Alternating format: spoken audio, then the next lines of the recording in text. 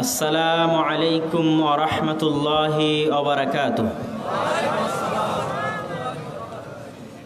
আলহামদুলিল্লাহ ওয়াহদাহ ওসলাত ওয়াসালাম আলা মাল্লা নবী আবাদা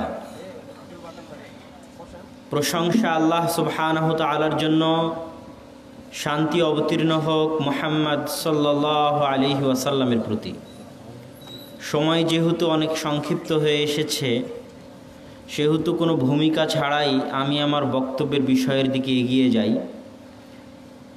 আজকে আপনাদের সামনে আমার সংক্ষিপ্ত বক্তব্যের বিষয়বস্তু, একটি পরিবারকে আমরা কীভাবে ইসলামী পরিবার, সুন্দর পরিবার, আদর্শবান পরিবার, একটা নমুনা বা মডেল পরিবার হিসেবে গড়ে তুলতে পারি সেই মর্মে সংক্ষিপ্ত গুরুত্বপূর্ণ আলোচনা পেশ করার চেষ্টা করব, ইনশাআল্লাহ। যারা উপস্থিত হয়েছেন, তাদের সকলকে পিছনে যারা দাঁড়িয়ে আছেন, তাদেরকেও বসার অনুরোধ করতেছি। যদি শুনতে চান, তাহলে বসে পড়েন। আর যদি শুনতে না চান, তাহলে চলে যান। কিন্তু কোরআন এবং হাদিসের মজলিসের আদব রক্ষা করতে হবে। আর কোরআন এবং হাদিসের মজলিসের আদব হচ্ছে বসে শুনতে হবে। এই জন্য যারা পিছনে দাঁড়িয়ে আছেন, তাদেরকে অনুরোধ করব বসে পড়ার জন্য। এবং যারা সাইডেও দাঁড়িয়ে আছে, তাদেরকেও সামনে গিয়ে বসার জন্য অনুরোধ করতেছি। যারা স্বেচ্ছাসেবক, তাদের বাইরে। আপনারা কি স্বেচ্ছাসেবক? এই যে ভাই, উনি স্বেচ্ছাসেবক। যারা স্বেচ্ছাসেবক নয়, তারা মধ্যে চলে যান। ভিতরে যান।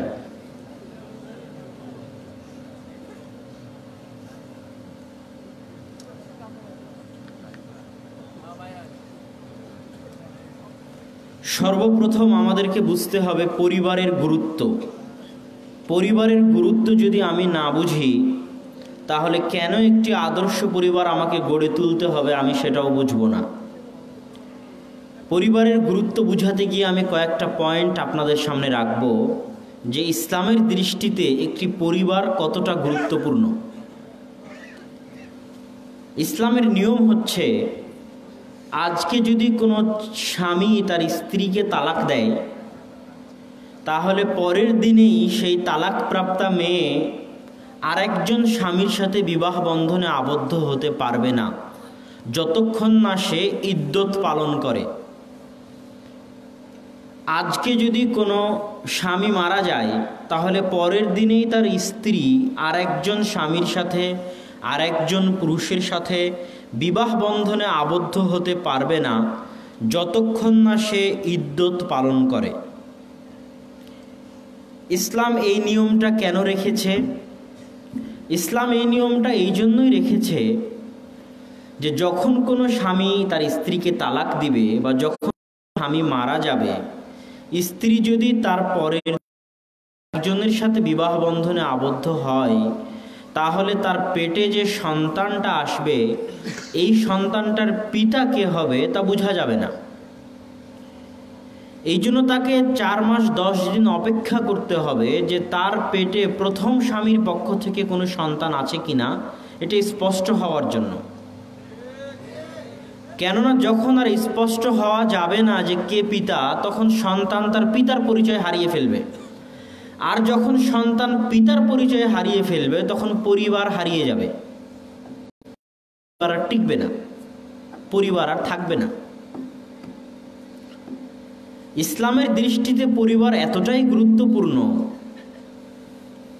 যে আল্লাহ এবং তার রসুল সাল্লাহ আলহি ওয়াসাল্লাম কোনো স্বামী যদি তার স্ত্রীকে তালাক দিতে চায়, তাহলে এক বৈঠকে, এক মজলিসে, একই সময়ে, একই সাথে হাসি মজাকে বা রাগের মাথায় তিন তালাক দিয়ে স্ত্রীকে বিচ্ছিন্ন করে দিবে এই সুযোগ ইসলামে নাই। কেননা পরিবার এতটা ঠুনকো, এতটা হালকা এতটা ফেলে দেওয়ার বস্তু ইসলামের নিকটে নয় যে এক মিনিটে সেই পরিবারকে ধ্বংস করে দেওয়া যাবে। ইসলাম বলেছে, তুমি যদি তোমার স্ত্রীকে তালাক দিতে চাও, তাহলে তিন মাস ভাবো। চিন্তা ভাবনা করো। প্রথম মাস চিন্তা ভাবনা করে এক তালাক দাও। আবার চিন্তা ভাবনা করো। পরের মাস চিন্তা ভাবনা করে দ্বিতীয় তালাক দাও। আবার চিন্তা ভাবনা করো, তারপরে তৃতীয় মাস চিন্তা ভাবনা করে তৃতীয় তালাক দাও। তুমি তোমার পরিবার শেষ করবা না রাখবা, এই সিদ্ধান্ত তোমাকে কমসে কম তিন মাসে নিতে হবে, কেননা পরিবার ইসলামের অনেক গুরুত্বপূর্ণ একটি বিষয়। চার নাম্বার পয়েন্ট, ইসলামে মুসলমানের রক্ত হারাম। মুসলমানের ধন সম্পদ হারাম, মুসলমানের ইজ্জত, মান সম্মান হারাম। তার মানে আমি কোনো মুসলিমের গায়ে হাত দিতে পাবো না। আমি কোনো মুসলিমের টাকা পয়সা চুরি, ছিনতাই, ডাকাতি করতে পারব না, কেননা তার মাল, ধন সম্পদ হারাম। আমি কোনো মুসলমানের গিবত, অপবাদ, তহমত করতে পারব না, কেননা তার মান সম্মান হারাম। কেমন হারাম? আল্লাহ রাসুল বলতেছেন, তোমরা আজকে আইয়ু শাহরিন হাদা, কোন মাসে তোমরা আছো বিদায় হজ্জের ভাষণ? তো বলে আল্লাহ রাসুল, এটা জিল হজ মাস। তো বলে, আইয়ো ইয়মিন হাদা, এটা কোন দিন? তো আল্লাহ রাসুল, এটা আরাফার দিন। তো বলে, আইয়ো বালাদিন হাদা, এটা কোন শহর? তো বলে, এটা আল্লাহ রসুল মক্কা শহর। তো বলে, মক্কা শহর যতটা না মানসম্মানপূর্ণ, আজকের দিন যতটা না মানসম্মানপূর্ণ, আজকের জিলহজ মাস যতটা না মানসম্মানপূর্ণ, এবং আর এক হাদিসে কাবাঘর যতটা না মানসম্মানপূর্ণ, একজন মুসলমানের রক্ত, ধন সম্পদ তার চেয়ে বেশি সম্মানিত। আল্লাহ সুবহান তালার নিকটে আহ্বান কাবাঘর ধ্বংস হয়ে যাওয়া হালকা।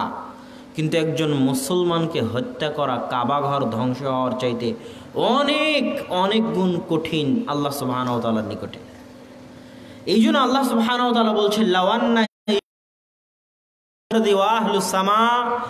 আসমান এবং জমিনের সকল জিন এবং সকল ফেরেস্তা মণ্ডলী মিলে যদি একজন মুসলমানকে হত্যা করে, তাহলে আল্লাহ সুবাহ ওই আদম আলাহিসাল্লাম থেকে নিয়ে কেয়ামত পর্যন্ত যত মানুষ আসবে এবং এসেছে যত ফেরেস্তা আছে, যত জিন এসেছে এবং আসবে, যারা সকলে একত্রিত হয়ে একজন মুসলমানকে হত্যা করেছে, তাদের সকলকেই আল্লাহ জাহান নামে নিক্ষেপ করতে বিন্দু মাত্র দ্বিধা করবেন না।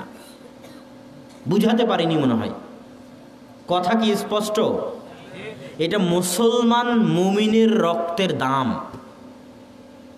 আপনি রাস্তাঘাটে হরতাল, মিছিল, রাজনৈতিক দ্বন্দ্বের কারণে মানুষকে হত্যা করে দিবেন এত সহজ নয়। সম্মানিত উপস্থিতি। তো ইসলামে যাদেরকে হত্যার বিধান দিয়েছে, তাদের মধ্যে একজন হচ্ছে যে আর একজন মুসলমানকে হত্যা করবে। আরেকজন হচ্ছে যে বিবাহিত অবস্থায় জেনা করবে। আরেকজন হচ্ছে যে জামাত ত্যাগ করবে। ইসলামী খেলাফতের খলিফার আনুগত্য ত্যাগ করে বিদ্রোহ করবে। এখন এই যে যাদের বিরুদ্ধে ইসলাম হত্যার হুকুম দিল, তাদেরকে কীভাবে হত্যা করতে হবে? তাদেরকে আপনি এক তরবারির আঘাতে এক সেকেন্ডে হত্যা করেন, কোনো সমস্যা নাই। একজন মুসলমান আর একজন মুসলমানকে হত্যা করেছে, কেসাস হিসেবে একটা তরবারির আঘাত দিয়ে তাকে হত্যা করেন, সমস্যা নাই। কিন্তু যে বিবাহিত অবস্থায় জেনা করেছে, তাকে কীভাবে হত্যা করতে হবে? ইসলাম বলতেছে যে বিবাহিত অবস্থায় জেনা করেছে, তাকে তরবারি দিয়ে হত্যা করবা, ফাঁসির কাষ্টে ঝুলিয়ে দিবা, গুলি করে হত্যা করবা শুলির কাষ্টে ঝুলিয়ে দিবা, জি না। হাজার হাজার মানুষের সামনে খোলা মাঠে অর্ধ বুক পর্যন্ত পুঁতে দিয়ে মাটিতে চারিদিক থেকে হাজার হাজার মানুষ ইট, পাথর, ঢেল, লোহা, তার প্রতি নিক্ষেপ করবে। কোনো ইট গিয়ে তার মাথায় লাগবে, সে চিৎকার করবে, বাপরে মারে করে। কোনো ইট গিয়ে তার হাতে লাগবে, সে বাপরে মারে করে চিৎকার করবে, কোনো ইটের আঘাতে মাথার ঘেলু বেরিয়ে যাবে, কোনো পাথরের আঘাতে চোখ নষ্ট হয়ে যাবে, দাঁত ভেঙে যাবে। এভাবে মারতে মারতে তার চিৎকার শুনতে শুনতে তাকে হত্যা করা হবে এত নিষ্ঠুর ও নির্দয়ভাবে কেন? বিবাহিত অবস্থায় জেনা করলে পরিবার ধ্বংস হয়ে যায়। কথা বুঝেননি? তাহলে পরিবারের গুরুত্ব ইসলামে কত বুঝতে পারছেন? পরিবারের গুরুত্ব ইসলামে কত সীমাহীন? আমি একটা বাক্যই বলতে চাই, পরিবার আছে তো ইসলাম আছে, পরিবার নাই তো ইসলাম নাই। পৃথিবী সৃষ্টির দিন থেকে নিয়ে আজ পর্যন্ত পৃথিবীকে আবাদ করেছেন পারিবারিক সম্পর্কের ভিত্তিতে। এই জন্য যে জাতি পরিবারকে ধ্বংস করতে চেয়েছে আল্লাহ ওই জাতিকে নিষ্ঠুর ও নির্দয়ভাবে দুনিয়ার বুক থেকে ধ্বংস করে দিয়েছেন। যেমন লুত আলাইহি সলাত সালামের কম তারা যে শহরে বাস করত, আল্লাহ ওই শহরটাকে এইভাবে উল্টিয়ে দিয়েছেন। এবং সেই শহরটা, উল্টে যাওয়া শহরটা এখন মৃত সাগর। জর্ডানের ডেড সি, মৃত সাগর। ওই শহরটা, যে শহরকে আল্লাহ উল্টিয়ে দিয়েছিলেন। এবং ওই শহরের পানি এতটা লবণাক্ত যে মানুষ ওই শহরের পানিতে, ওই নদীর, ওই সমুদ্রের পানিতে ডুবে না। এমনি ভেসে থাকে। আল্লাহর নিদর্শন। কেন আল্লাহ এত নির্দয় ও ধ্বংস করে দিলেন? তারা জেনায় লিপ্ত থাকত আর জেনার মাধ্যমে পরিবার ধ্বংস হয়ে যায়। জারদ সন্তান হয় জারদ সন্তানের বাপ থাকে না, পরিবার ধ্বংস হয়ে যায়। আর পরিবার ধ্বংস হয়ে গেলে এই পৃথিবী আবাদ রাখার আল্লাহর কোনো মানে থাকে না। আল্লাহ সুবাহানতলা পরিবারের মাধ্যমে পৃথিবীকে আবাদ রেখেছে যুগ যুগ ধরে। তো পরিবারই যদি ধ্বংস হয়ে যায় জেনার মাধ্যমে, তো আল্লাহর এই পৃথিবী রাখার কোনো আর অর্থ থাকে না। এই পৃথিবীও আল্লাহ ধ্বংস করে দিবেন। যেই দিন পরিবার প্রথা ধ্বংস হয়ে যাবে, সেই দিন। মাহদি আলাইহি সালাতাম এবং ঈসা আলাহি সালাতামের পরে তারা যে সাত বছর পৃথিবীতে শাসন করবেন, তারপরে যখন পৃথিবীর মানুষ খোলা মাঠে কুকুরের মতো জেনায় লিপ্ত হবে, শিয়ালের মতো জেমায় জেনায় লিপ্ত হবে হবে, গাধা, গাধি, গরু, বকরি, ছাগল, মুরগি, হাঁস, তাদের মতো জেনায় লিপ্ত হবে, তখন আর পরিবার প্রথা বাকি থাকবে না। তখন আল্লাহর পৃথিবীকেও বাকি রাখার প্রয়োজন হবে না। তখন আল্লাহ পৃথিবীকে ধ্বংস করে দিবেন, তখন কেয়ামত কায়েম হয়ে যাবে। তথা পৃথিবীও ততদিন থাকবে যতদিন পরিবার প্রথা থাকবে।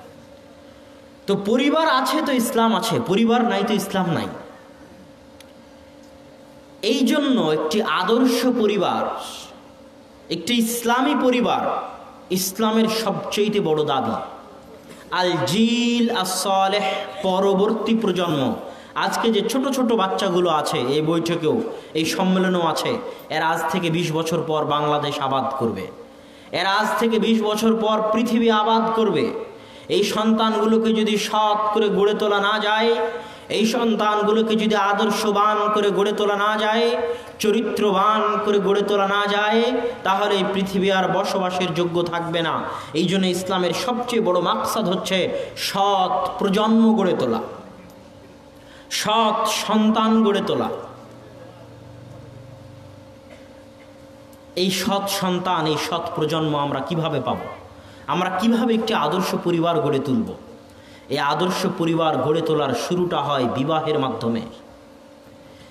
এই বৈবাহিক সম্পর্ক যদি প্রেমের মাধ্যমে হয়, হারাম সম্পর্কের মাধ্যমে হয়, তাহলে প্রথম দিন থেকেই ওই পরিবার আল্লাহ সুবহানাহ তালার বরকত বঞ্চিত থাকে। আল্লাহ সুবহানাহু তাআলার রহমত বঞ্চিত থাকে।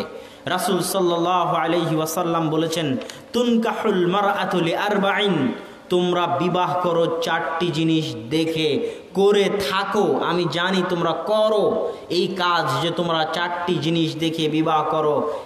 এক, লিঝামা লিহা, তোমরা বিবাহ করার সময় মেয়ের সৌন্দর্য দেখো।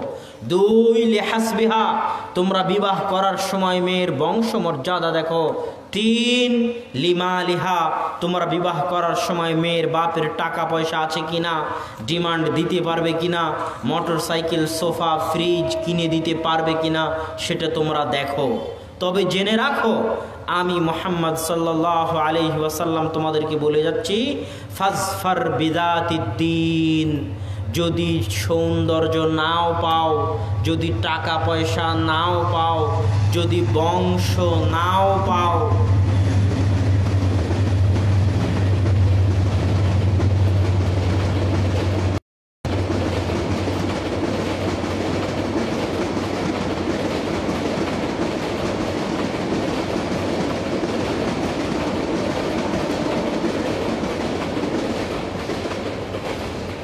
তো অন্তত পক্ষে যেন তোমার স্ত্রীর মধ্যে দিনদারিতা থাকে।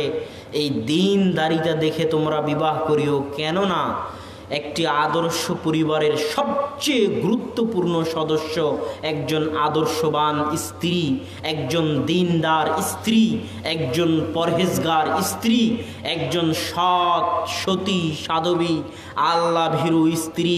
এই আল্লাহ ভীরু স্ত্রী, দিনদার স্ত্রীর মূল্য আল্লাহ এবং আল্লাহ রাসুলের নিকটে অপরিসীম ও সীমাহীন। রাসুল সাল্লাহ আলহি ওয়াসাল্লাম বলছেন আর দুনিয়া কুল্লোহা মাতা ও খৈর মাতা আসমান এবং জমিন তার মাঝে যা কিছু আছে সবই সম্পদ। তবে সবচেয়ে দামি, সবচেয়ে শ্রেষ্ঠ, সবচেয়ে মূল্যবান সম্পদ হচ্ছে আলমারা সতী। পরায়ণ পরহেজগার, দিনদার স্ত্রী। একজন সতী সাধবী ন্যায় পরায়ণ পরহেজগার। দিনদার স্ত্রীর গুরুত্ব আল্লাহর নিকটে এত বেশি যে যখন ইব্রাহিম আলাইহি সালাম তার স্ত্রী সারাকে নিয়ে জালেম বাদশার শহরের পাশ দিয়ে অতিক্রম করছেন, তখন জালেম বাদশাহ সারা আলাইহা সালাতামের সৌন্দর্যে মুগ্ধ হয়ে তাকে তার দরবারে ডেকে পাঠায় এবং তার সাথে খারাপ কাজে লিপ্ত হওয়ার জন্য এগিয়ে যায়। তখন সারা আল্লাহকে ডেকে বলছেন সালাতে দাঁড়িয়ে গিয়ে সালাতে দাঁড়িয়ে গিয়ে আল্লাহকে ডেকে বলছেন আল্লাহ তুমি যদি জেনে থাকো, তুমি যদি জানো, আমি সারা আমার লজ্জা স্থানের হেফাজত করেছি, পর্দার রক্ষা করেছি, আমার স্বামী ছাড়া আমার শরীর, আমার অঙ্গ প্রত্যঙ্গ কাউকে দেখতেও দেয়নি, ব্যবহারও করতে দেয়নি। তুমি যদি এটা জেনে থাকো আল্লাহ, তাহলে আজকের দিনে লা তুসাল্লেত আলাইয়াল কাফের, আমার উপর কোনো কাফেরকে জয়ই করিও না। এই দোয়া করা মাত্র ওই জালেম বাদশার হাত পা অবশ হয়ে যায়। এটা একজন সতী নারীর মূল্য আল্লাহ সুবহান তালার নিকটে। সম্মানিত উপস্থিতি, এই জন্য রাসুল সাল্লাহ আলহি ওয়াসাল্লাম বলেছেন যে, সতী নারী আসমানের নিচে জমিনের উপরে সবচেয়ে দামি, সবচেয়ে মূল্যবান সম্পদ। তো এই জন্য রাসুল সাল্লাহ আলহি ওয়াসাল্লাম নির্দেশ দিচ্ছেন যেন বিবাহের সময় যুবক তুমি কারও প্রেমে পড়ে, কারও চেহারায় মুগ্ধ হয়ে, কারও টাকা পয়সায় মুগ্ধ হয়ে বিবাহ করিও না। স্থায়ীভাবে তুমি পরিবারকে ধ্বংস করে দিবে। বিবাহ করলে দেখে বিবাহ করো। ন্যায় পরায়ণতা পরহেজ গাড়িটা দেখে বিবাহ করো। তোমার পরিবার সুন্দর হবে। আমি তুমি বুঝি আর না বুঝি? আমি তুমি মেয়েদের গুরুত্ব বুঝি আর না বুঝি? আমি তুমি নারীদের গুরুত্ব বুঝি আর না বুঝি? আমি তুমি একজন সতী নারীর মর্যাদা বুঝি আর না বুঝি? ইহুদি খ্রিস্টান অবশ্য অবশ্যই বুঝে। তারা জানে যে মুসলমান জাতির মেয়েদেরকে যদি নষ্ট করে দেওয়া যায়, মুসলমানের মেয়েদেরকে যদি ধ্বংস করে দেওয়া যায়, মুসলমানের মেয়েদেরকে যদি রাস্তায় বের করে আনা যায়, মুসলমানের মেয়েদেরকে যদি বেপর্দা হয়ে চল চাল চালাতে পারা যায়, মুসল মেয়েদের যদি গার্মেন্টস কাজকর্ম অফিস আদালত সব জায়গায় বেহায়াপনা, বেলেল্লাপনা ছড়িয়ে দেওয়া যায়, তাহলে এই সমস্ত নারীর পেট থেকে সালাহুদ্দিন আইয়ুবির জন্ম হবে না। এই সমস্ত মাদের পেট থেকে ওমর ইবনুল খাত্তাব, তারেক বিন জিয়াদ, মোহাম্মদ বিন কাসেমের জন্ম হবে না। বরং এরা জাতিকে কুলাঙ্গার সন্তানি উপহার দিয়ে যাবে। যদি তারা নিজেরা কুলাঙ্গার হয়ে থাকে, এটা ইহুদি খ্রিস্টানরা জানে, আমি আপনি জানি আর না জানি।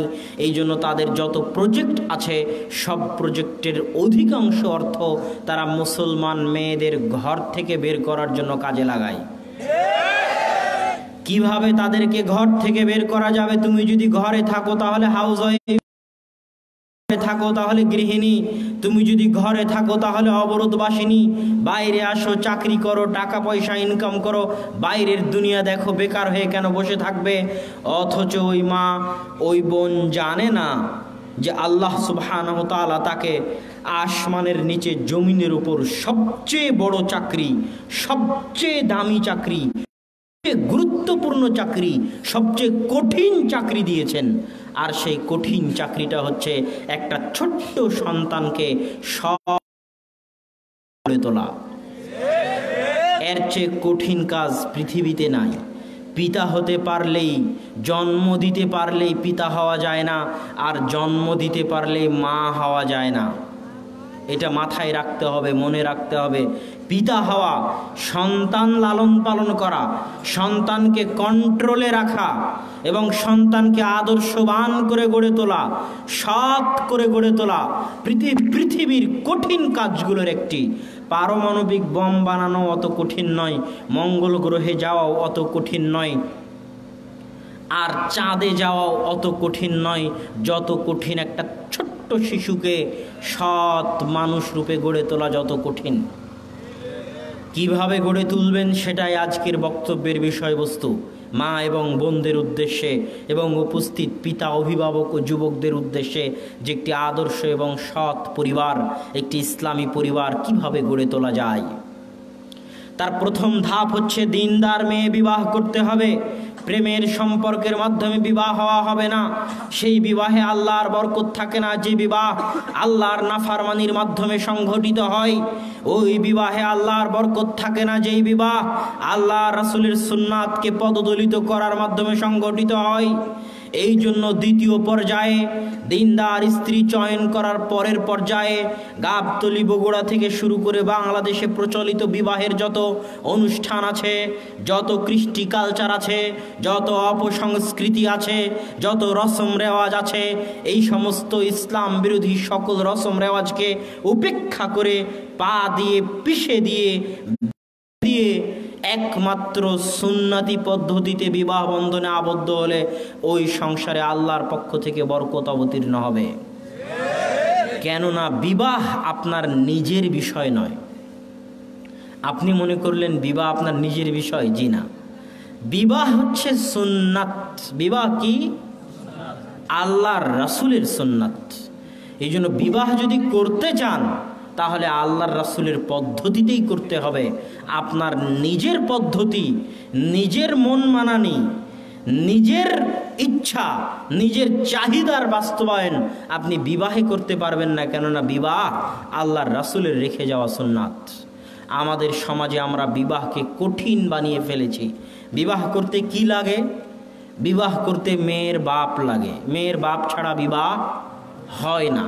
যত বড় আলেম ফতোয়াদিক যত বড় মুফতি ফতোয়াদিক মেয়ের পিতা অথবা পিতার সম্মতি, মেয়ের পিতা অথবা মেয়ের পিতার সম্মতি ছাড়া বিবাহ হয় না, সেটা জেনা হয়। এটা গেল এক নাম্বার, মেয়ের পিতার উপস্থিতি লাগবে। দুইজন সাক্ষী লাগবে। যে বিবাহ করবে, সেই ছেলেকে লাগবে। আর যে বিবাহ পড়াবে, তাকে লাগবে। আর কবুল, ছেলে বলবে না মেয়ে বলবে? যে আপনারা তো টিভিতে সব জায়গাতেই দেখেন যে কবুল কে বলে? মেয়ে বলে। মেয়ের কাছে কেউ ওই সাক্ষী উকিল বাপ হয়ে যাওয়ারও সিস্টেম ইসলামে নাই। মেয়ের কথা এবং যোগাযোগ হবে পিতার সাথে। পিতার সাথে মেয়ের কথা এবং যোগাযোগ হবে। পিতা মঞ্চে উপস্থিত আছে মানে মেয়ে রাজি। মেয়ে রাজি কি রাজি না এটা পিতার ব্যাপার। সে আগের দিন জানুক, দশ দিন আগে মেয়ের সম্মতি জেনে নিবে। পিতা বিবাহের মঞ্চে উপস্থিত আছে মানে মেয়ে সম্মতি আছে, মেয়ে রাজি আছে, ওইটা পিতার জিম্মেদারি মেয়ে রাজি আছে না নাই, সেটা বের করা এবং সেটা জেনে বিবাহের মঞ্চে উপস্থিত জিম্মেদারি। এত সিম্পল একটা অনুষ্ঠানকে আমরা এত কঠিন বানিয়েছি।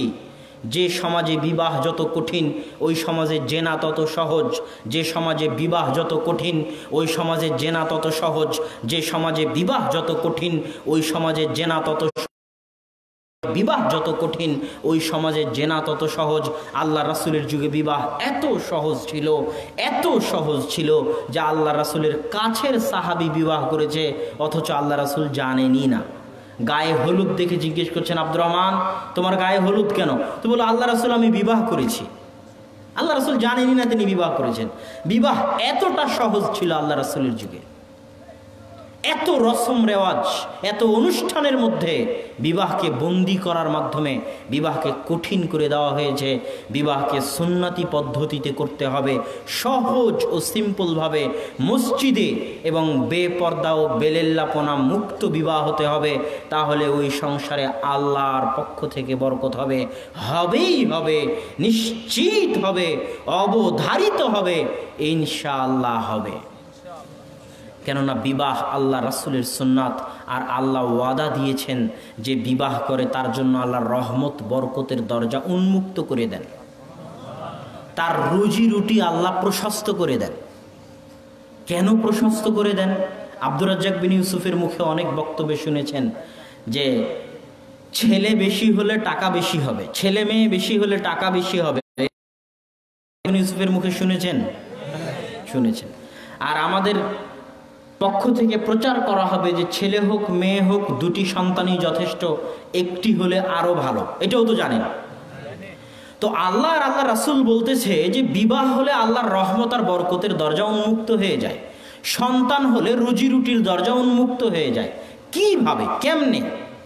মানুষ তো বলতেছে, সন্তান হলে তুমি খাওয়াতে পারবা না, সন্তান কম নেও।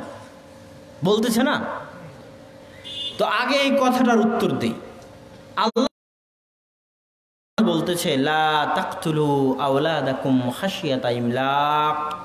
তোমরা তোমাদের সন্তানদেরকে দারিদ্রতার ভয়ে হত্যা করিও না।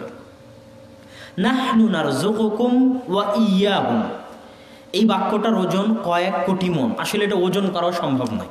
কত কোটি মন আর কত বিলিয়ন, কত ট্রিলিয়ন মন তা আমার জানা নাই। এই বাক্যটার ওজন। সেটা কি?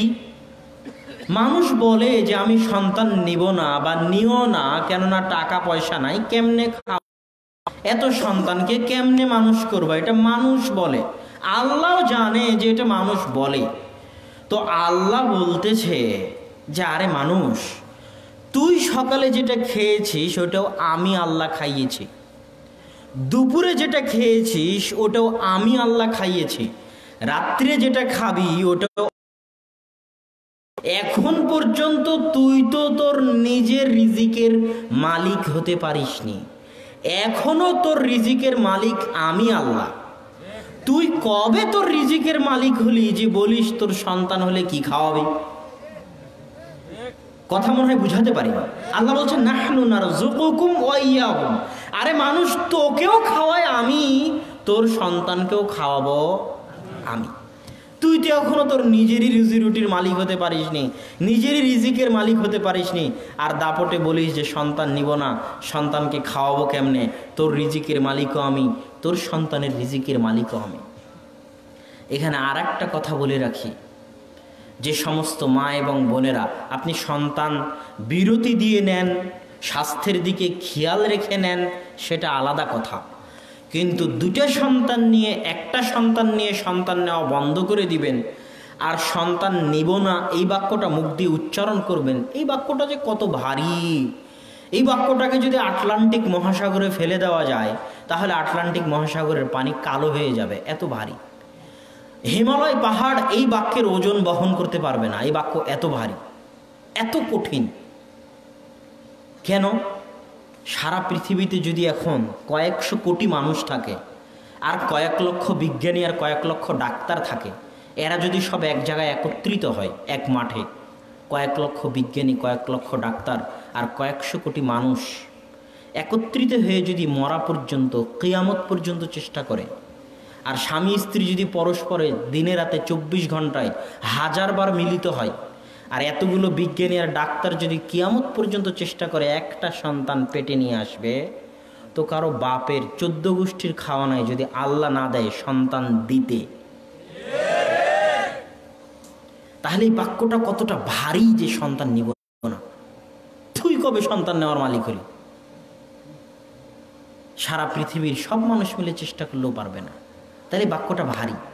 এই বাক্য বলা আল্লাহর সাথে নাফারমানি করা, আল্লাহর শক্তি, আল্লাহর ক্ষমতা, আল্লাহর দাপটকে বৃদ্ধাঙ্গুলি দেখানো। তো সম্মানিত উপস্থিতি, বিবাহ করলে সন্তান হলে রুজি রুটির দরজা কেন উন্মুক্ত হবে? এই কথা বলছিলাম। কেন উন্মুক্ত হবে? আল্লাহ তালা আল্লাহ রাসুলের ভাষা অনুযায়ী যে কুতিবাত লেখা হয়ে গেছে, মানুষের তাকদির পৃথিবী সৃষ্টির খামসিন আলফ। পঞ্চাশ হাজার বছর পূর্বে মানুষের ভাগ্য লেখা হয়ে গেছে। পৃথিবী সৃষ্টির পঞ্চাশ হাজার বছর পূর্বে। তো আমার ভাগ্যে যে রুজি রুটি আছে, আমার ভাগ্যে লেখা আছে, আমি সকালে আলু ভর্তা দিয়ে ভাত খাব। আমার দুপুরে লেখা আছে, আমি পান্তা ভাত খাব। আমার রাত্রে লেখা আছে, আমি ডাল দিয়ে ভাত খাব। তো এই ডাল দিয়ে ভাত খেতে যে টাকাটা লাগবে, ওই টাকাটা আল্লাহ আমাকে দিবে না দিবে না। ওই সিস্টেম ওই ব্যবস্থাটা আল্লাহ আমাকে করে দিবে না দিবে না। আমাকে জাস্ট চেষ্টা করা লাগবে। ইসলাম বলেনি ঘরে বসে থাকো। ইসলাম বলছে, ফাইদা কুদিয়াতি সলাত ফাংতা শিরুফিল আরজ। সালাত শেষ হয়ে গেছে ফজরের, আর শুয়ে থাকার সুযোগ নাই। বেরিয়ে পড়ো। আল্লাহর জমিনে আল্লাহর বরকত অনুসন্ধান করো। এখানে আর একটা সূক্ষ্ম জিনিস বলে যায় আপনি ভ্যানালা হন রিক্সাওয়ালা হন, ব্যবসায়িক হন, দোকানদার হন, যারাই মাঠে উপস্থিত আছেন, ভ্যানালা হন রিক্সাওয়ালা হন, দোকানদার হন, ব্যবসায়ী হন, শিক্ষক হন, কর্মকর্তা হন, কর্মচারী হন, আল্লাহর এই আয়াত থেকে আপনাকে একটা সূক্ষ্ম জিনিস আজকে বলে যাই। আল্লাহ বলছেন, ফাইদা কুদিয়াতি সলাত যখন যায় ফাংতা শিরুফিল আরজ তোমরা আল্লাহর জমিনে ছড়িয়ে পড়ো ওয়াবদাগু মিন ফাজলিল্লাহ, আর আল্লাহর রহমত, বরকত, দয়া অনুসন্ধান করো। আয়াতটা কি বুঝলেন? এবার ব্যাখ্যাটা বলি। আপনি ভ্যান আলা বসে আছেন ভ্যান নিয়ে, পায়ের উপর পা দিয়ে। আমি গিয়ে আপনাকে বললাম, চলেন গাবতলি বাজারে যাই। তার মানে আমি আল্লাহর দয়া আপনার কাছে এসেছি। বুঝাতে পারিনি। আমি মনে হয় বুঝাতে পারলাম না। আমি যে দশটা টাকা দিয়ে আপনার মাধ্যমে গাবতলি বাজারে যাব, এটা কার দয়া? আল্লাহর দয়া। আল্লাহ বলেছে, জমিনে ছড়িয়ে পড়ো, আমার রিজিক অনুসন্ধান করো। কেননা আমার রিজিক হচ্ছে আমার দয়া। তো আল্লাহ আমাকে পাঠিয়েছে আপনার নিকটে আপনার রিজিকের ব্যবস্থা করার জন্য, যেন আমি আপনার মাধ্যমে গাবতলি বাজারে যাই আর আপনাকে দশটা টাকা দিই। এবার আপনি যদি বলেন যে, যাব না, তাহলে আপনি আল্লাহর একটা দয়াকে কি করলেন? দূরে সরিয়ে দিলেন। বুঝাতে পারিনি আপনার দোকানে একজন দোকানদার এসেছে, হয়তো দশটায় আপনি দোকান বন্ধ করেন। তো ঠিক দশটার সময় যখন পাল্লা লাগাচ্ছেন, তখন এসেছে কিছু কিনতে। ওটা আল্লাহর দয়া। আল্লাহর দয়াকে অবহেলা করিয়েন না। আপনি গাড়ির ড্রাইভার। আপনি হয়তো আজকে বিশ্রাম নিতে চাচ্ছেন। এই সময় একজন ফোন দিয়েছে একটা ভাড়া নেওয়ার জন্য। ওটা আল্লাহর দয়া। তো যেখান থেকেই রিজিক আসুক যেখান থেকেই রুজি আসুক, সেটা কার দয়া? আল্লাহর দয়া। এই জন্য রুজি রুটি, হালাল রুজি রুটির কোনো রাস্তা ইচ্ছাকৃতভাবে পরিত্যাগ করা উচিত নয়। সম্মানিত উপস্থিতি, তো যেহেতু আমাদের রুজি রুটি পঞ্চাশ হাজার বছর পূর্বে আল্লাহ লিখে রেখেছে, তো এখন আমি যখন বিবাহ করলাম তো আমার স্ত্রীর ভাগ্যে যদি তিন বেলা গোস্ত মাছ পোলাও লেখা থাকে, তো ওই গোস্ত মাছ পোলাওয়ের টাকাটা আল্লাহ কার মাধ্যম দিয়ে দিবে? আমার মাধ্যম দিয়ে দিবে, কেননা তার রিজিকের দায়িত্ব আমি উঠিয়েছি। এই যে বলল মসজিদে মাদ্রাসা এতিম আছে, তেরোটা এতিমের রুজির দায়িত্ব তিনি উঠিয়েছেন। তো তেরোটা এতিমের ভাগ্যে যা খাবার লেখা আছে, ওই খাবারটা আল্লাহ তার হাত দিয়েই দিবে। এটা আল্লাহর পৃথিবী পরিচালনায় আল্লাহর নীতি। এটা হচ্ছে পৃথিবী পরিচালনায় হাজার বছর থেকে চলে আসা আল্লাহর নিয়ম। আল্লাহ বলছে, পৃথিবীতে একটা পিঁপড়াও চলে না, একটা মাছিও চলে না, একটা মশাও চলে না, একটা উট, গরু, ছাগল, ভেড়া, চতুষ্পদ জন্তু, জীবজন্তু, জানোয়ার, যত হাজার কোটি জীবজন্তু, জানোয়ার হোক, সারা পৃথিবীতে সকলের প্রত্যেক দিনের কি খেতে হবে, কি রুজি দিতে হবে, সেটা আমার কাছে আছে। ওই চিন্তা কার? চিন্তা আল্লাহ আনহু বলছেন হাক্কা তোমরা যদি আল্লাহর উপর সত্যিকার ভরসা করতে পারো, লারাযাকতুমুল্লাহ, আল্লাহ তোমাদেরকে রিজিক দিবেন খামা তার, কামা তয়ের যেমন আল্লাহ পাখিকে রিজিক দেন, পৃথিবী সৃষ্টির প্রথম দিন থেকে নিয়ে আজ পর্যন্ত আজকেও পৃথিবীর হাজার লক্ষ কত কোটি পাখি তাদের ঘর থেকে তাগদু খেমাসা খালি পেটে বের হয়েছে ওয়াতারু বেতানা, আর আজকে তাদের ঘরে ফিরে এসেছে ভরা পেটে।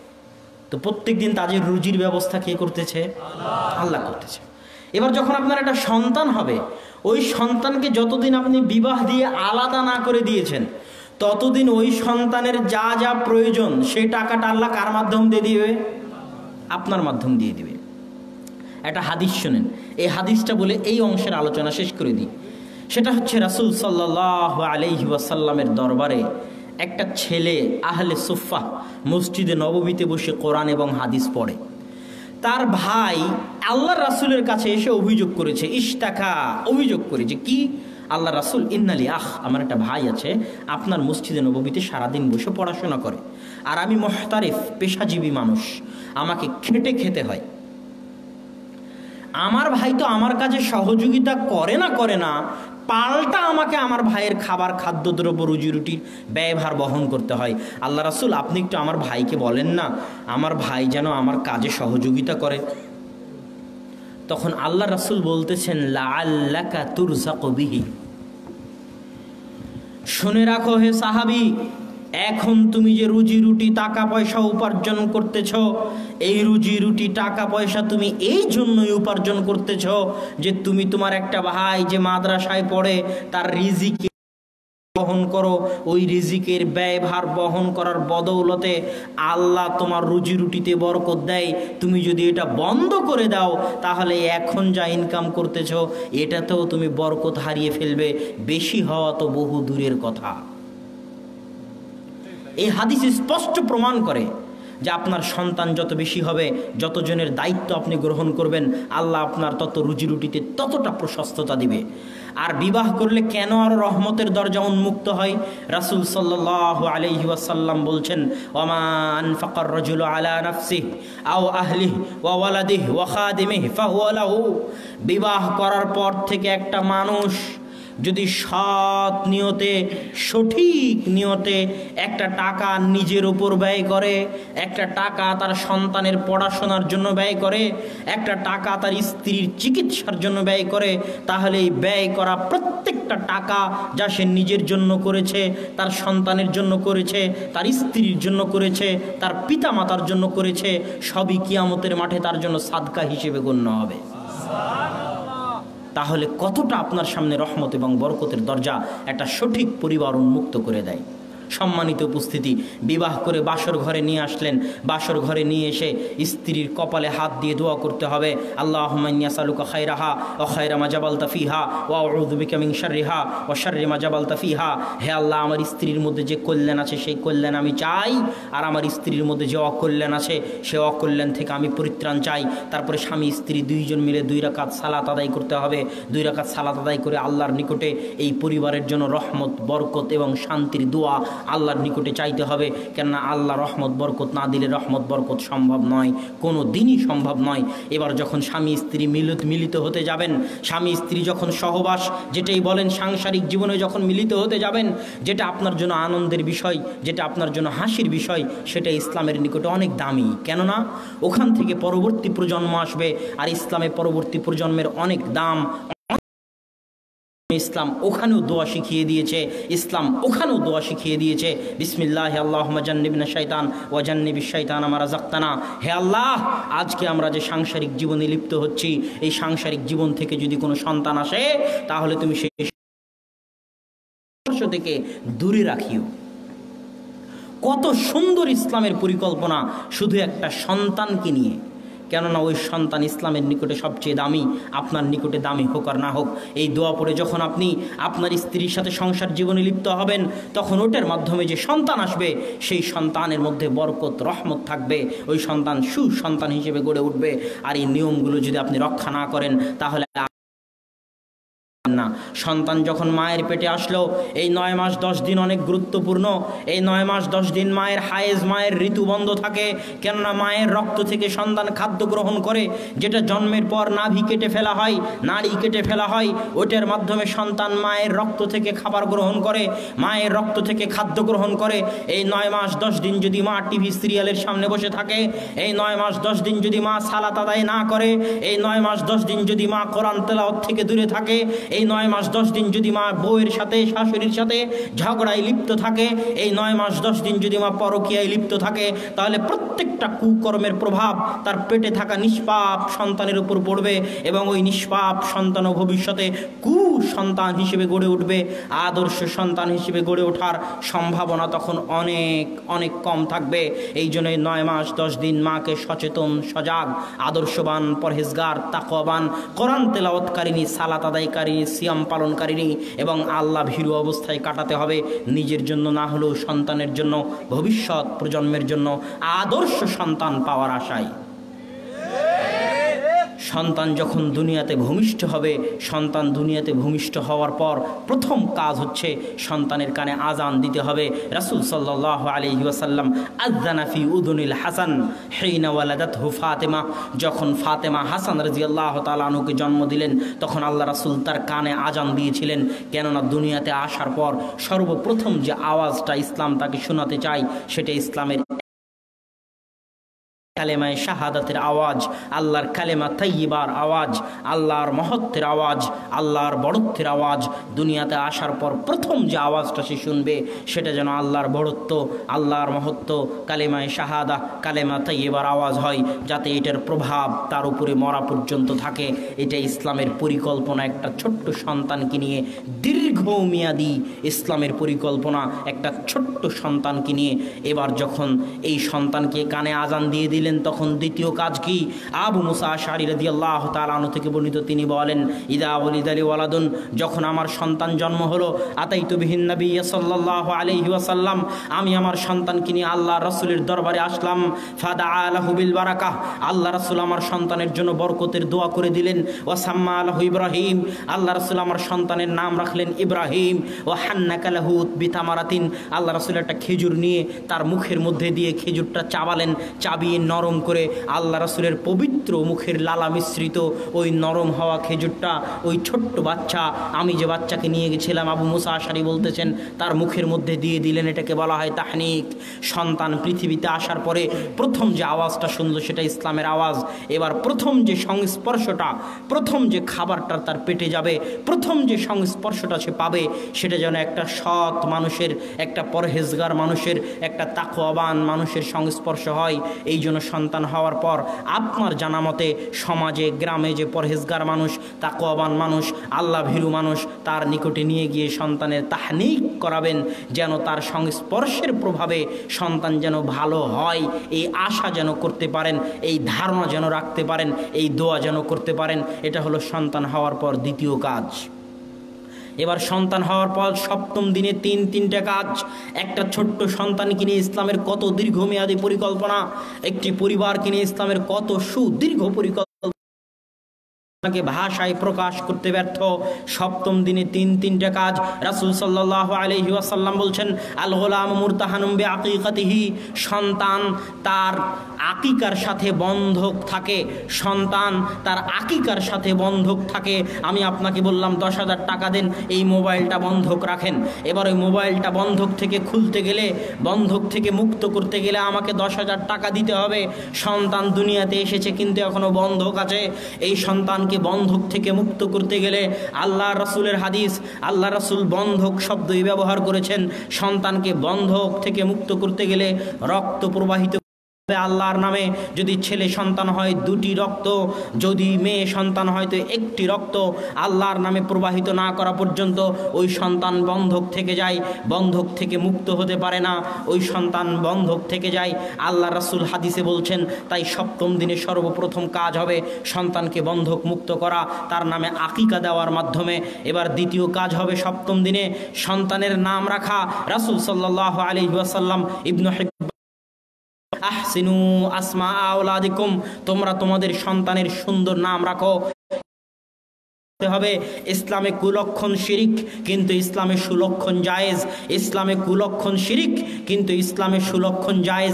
কুলক্ষণ মানে বাড়ি থেকে গাড়ি নিয়ে বের হলেন, সামনে দিয়ে বিড়াল পার হয়ে গেল।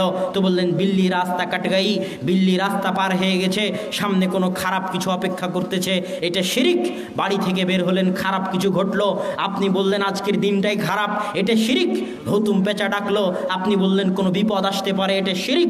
কেননা ইসলামে কুলক্ষণ নাই, কিন্তু ইসলামের সুলক্ষণ আছে। সুলক্ষণ গ্রহণ করা যায়, জায়েজ সুলক্ষণ গ্রহণ করা ভালো। আব্দুল মোত্তালেব যখন তার পোতা হলো, তখন আব্দুল মোত্তালেব বলল, আমি আমার সন্তানের নাম রাখব, আমার পৌত্রের নাম রাখব মোহাম্মদ। কেননা মোহাম্মদ শব্দের অর্থ হচ্ছে প্রশংসিত। আমার সন্তানের এই সুন্দর নাম আমি এই জন্য রাখতে চাই, এটা দিয়ে আমি সুলক্ষণ গ্রহণ করতে চাই, যেন সন্তান সারা পৃথিবীতে একজন প্রশংসিত ব্যক্তিতে পরিণত হতে পারে। মোহাম্মদ সাল্লাহ ইসলাম কি সারা পৃথিবীতে সবচেয়ে প্রশংসিত ব্যক্তি নয়? এটা হচ্ছে নাম থেকে সুলক্ষণ গ্রহণ করা। তাই খবরদার খারাপ নাম রাখবেন না। আল্লাহ রসুল বলছে, আহসেনু আসমা উলাদিকুম। যদি খারাপ নাম থাকে, তো আজকে নাম চেঞ্জ করে দিন। নিজের নামও যদি খারাপ থাকে, তো নিজের নামও চেঞ্জ করে দিন। নামের একটা অদৃশ্য প্রভাব আপনার উপর থাকে। যে অদৃশ্য প্রভাবের ফলে, ওই নামের প্রভাবের ফলে অনেক সময় অনেক কিছু হয়। যদি নাম ভালো হয়, তাহলে সেই ভালো প্রভাবের ফলে, সেই তাফাউল সুলক্ষণের ফলে আশা করা যায়। যে সন্তানও ভালো, সৎ এবং আদর্শবান হিসেবে গড়ে উঠবে। এটা হলো সপ্তম দিনের দ্বিতীয় কাজ। সপ্তম দিনের কাজ রাসূল সাল্লাল্লাহু আলাইহি ওয়াসাল্লাম বলছেন, ইহলিকি শাআর রাসি ফাতাসাদ্দাকি বিওয়াজনিহি মিনাল ওয়ারিক। সপ্তম দিনে আকিকা হয়ে গেল, নাম সুন্দর রাখা হয়ে গেল। এবার সপ্তম দিনের তৃতীয় কাজ হচ্ছে, ওই ছোট্ট বাচ্চার মাথায় এই সাত দিনে যতটুকু চুল গজিয়েছে, বেলেট দিয়ে ওই সাত দিনের চুলটুকু কেটে দাড়ি পাল্লায় গ্রামের ওজনে যতটুকুই হোক না কেন মেপে, অত সমপরিমাণ স্বর্ণ, অত সমপরিমাণ রৌপ্য আল্লাহর রাস্তায় ফি সাবিলিল্লাহ সাদকা করে দেওয়া, দান করে দেওয়া, এটা হচ্ছে সপ্তম দিনের তৃতীয় কাজ। এখানে একটা কথা মনে রাখবেন, দান করলে দুনিয়াবি এবং আসমানি বিপদ থেকে বেঁচে যাবেন। দান করলে দুনিয়াবি এবং আসমানি বিপদ থেকে বেঁচে যাবেন। যদি আপনি দান না করেন, যদি আপনি দান না করেন, যদি আপনি দান না করেন, তাহলে আল্লাহ বলছেন, আমি কৃপণের সম্পদ বাই দেওয়ে বাই দেওয়ে বের করে নেই।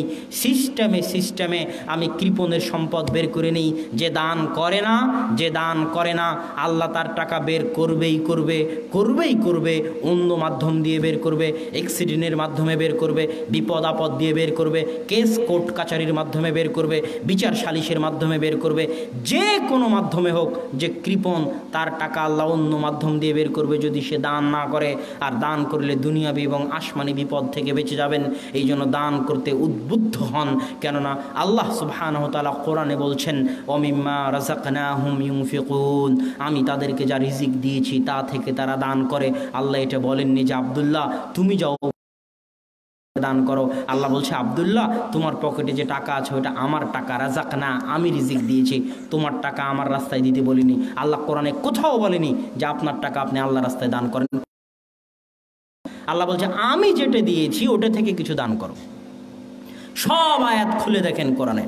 আল্লাহ কোরআনে কোথাও বলেনি, আপনি যেটা ইনকাম করেছেন, সেটা থেকে দান করেন। এটা আল্লাহ কোরআনে কোথাও পাবেন না। আল্লাহ কোরআনে সব জায়গায় বলেছে, খুলে দেখেন, কোরআনের শুরু থেকে শেষ পর্যন্ত আমি আল্লাহ যেটা দিয়েছি সেখান থেকে কিছু দান করো। আমার টাকা আমাকে দাও। এতে যে আমার কোনো লাভ হবে তা নয়। সারা পৃথিবীর সব মানুষ যদি চব্বিশ ঘণ্টা সেজদায় পড়ে থাকে, আল্লাহর কোনো লাভ নেই।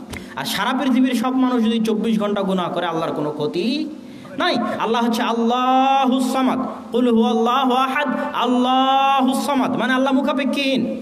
আপনার ঠেকা পড়েছে দান করার মাধ্যমে আল্লাহর কাছ থেকে কিছু উপকার নেওয়ার। আপনার প্রয়োজন আছে। আপনি মুখাপেক্ষী। আপনি বাঁচতে চাইলে আপনি দান করেন। আল্লাহর কোনো প্রয়োজন নাই। কিন্তু টাকাটা আল্লাহরই। টাকাটা আপনার নয়। আল্লাহর দেওয়া টাকা আল্লাহকে দিবেন। উপকার আপনার। আল্লাহর কোনো উপকার নাই, আল্লাহর কোনো ক্ষতিও নাই। তো সম্মানিত উপস্থিতি, এই সপ্তম দিনে এই তিন তিনটে কাজ আকিকা সুন্দর নাম রাখা এবং স্বর্ণ, রৌপ্য, চুল সমপরিমাণ আল্লাহর রাস্তায় দান করা।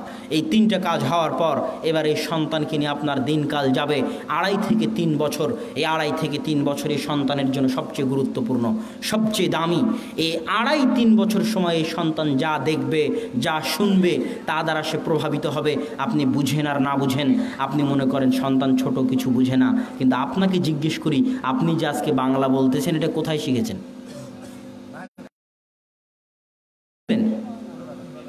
কেমনে? অটোমেটিক। যখন আপনার বয়স এক, দেড় কিছুই বুঝেন না, মানুষ মনে করতো আপনি কিছু বুঝেন না। কিন্তু আল্লাহ আপনার ভিতরে এমন শক্তি দিয়েছে অ্যাচিভ করার, অর্জন করার এমন শক্তি দিয়েছে যে মায়ের মুখের বাংলা ভাষা শুনে শুনে কোনো টিচার কোনো শিক্ষক ছাড়াই আপনি বাংলা বলা শিখে গেছেন, বাংলা বলতে পারতেছেন, বাংলা বুঝা শিখে গেছেন, বাংলা বুঝে গেছেন।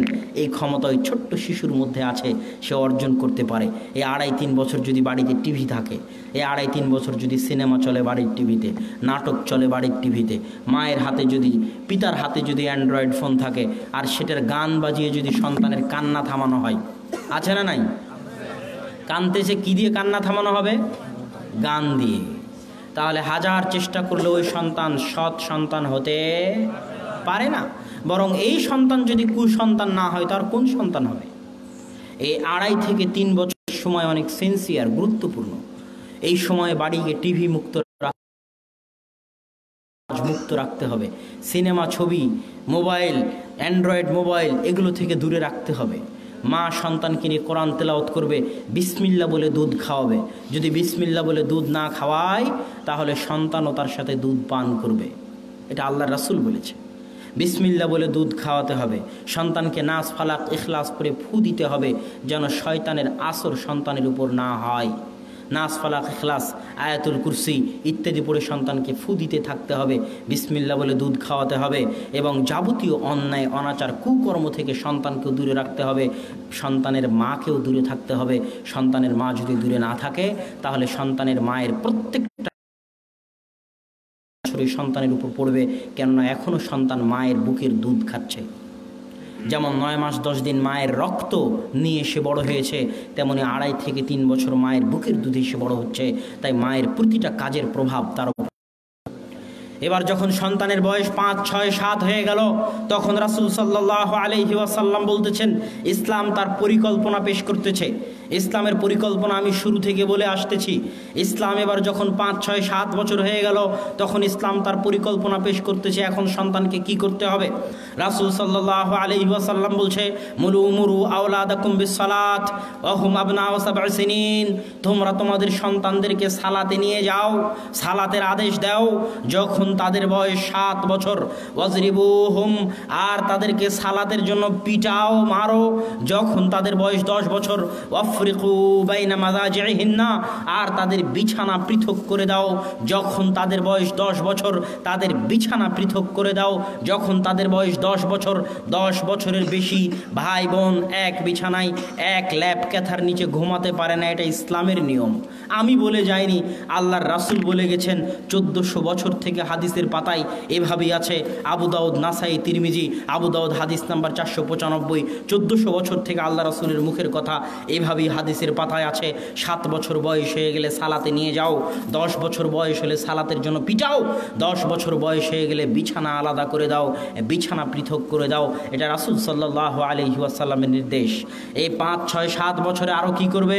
আর এক হাদিসে রাসুল সাল্লাহ আলহি আসাল্লাম এরকম পাঁচ, ছয় বছরের, সাত বছরের একটা ছোট্ট বাচ্চাকে বলতেছেন, ইয়া গোলাম সাম্মিল্লাহ, হে ছোট বাচ্চা বিসমিল্লা বলে খাদ্য গ্রহণ করো, অকুল বিয়ামিনিক, ডান হাতে খাও অকুল মিম্মায়ালিক নিজের পাশ থেকে খাও, প্লেটের চারিদিক থেকে খেও না, নিজের পাশ থেকে খাও, প্লেটের চারিদিক থেকে খেও না, নিজের পাশ থেকে খাও, অকুল মিম্মায়ালিক এই দুইটা হাদিসকে সামনে রাখলে স্পষ্ট হয় যে পাঁচ, ছয়, সাত বছরের সন্তানকে আদব কায়দা, আদর্শ শিখাতে হবে। আর এই আদব কায়দা, আদর্শ শিখানোর দায়িত্ব কার? পিতা মাতার এখানে একটা ফজিলত আপনাকে বলে যায় সব অভিভাবককে।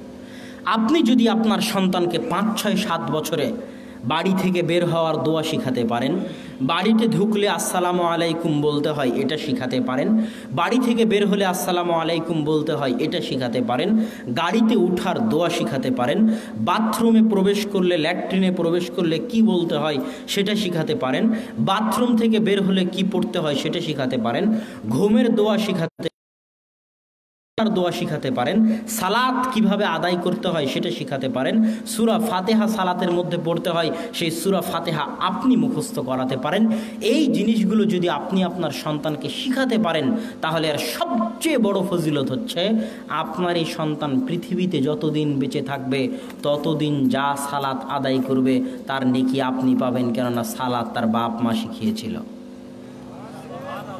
যতদিন এই ছেলে আসসালাম আলাইকুম দিয়ে পৃথিবীর যে বাড়িতে প্রবেশ করবে, তাতে জানে কি হবে? সেই নেকির একটা অংশ আপনি কবরে বসে পাবেন।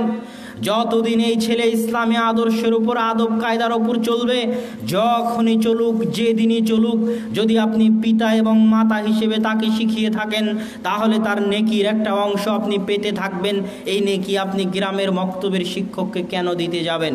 এই নেকি আপনি গ্রামের হুজুরকে কেন দিতে যাবেন? মাদ্রাসার শিক্ষককে কেন দিতে যাবেন? এই নেকি আপনি নেওয়ার চেষ্টা করুন। আপনার সন্তান যেন আপনার শিখানো আদর্শ, আদব কায়দার উপর মরা পর্যন্ত থাকে যাতে আপনার শেখানো আদর্শ আদব কায়দার উপর যতদিন থাকবে তার একটা নেকি আপনি কবরে বসে হলেও পেতে থাকবেন। এর চেয়ে বড় সৌভাগ্যের দুনিয়াতে আর কিছু হতে পারে না। এই পাঁচ, ছয় বছর আপনি সন্তানকে কি শিখাতে পারেন?